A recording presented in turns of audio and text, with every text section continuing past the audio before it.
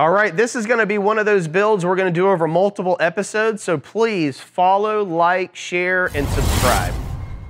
All right, today we're here with this 75 Chevy Caprice, also known as a donk.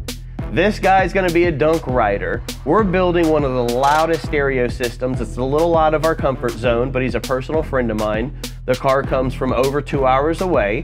We're gonna be putting 14 eights in the door for mids and highs. We're gonna do all of the PRVs. And then in the trunk, we're gonna do five of the Sundown Audio 12s. We're gonna have about 25,000 watts in amperage between the mids and highs and the sub amplifiers.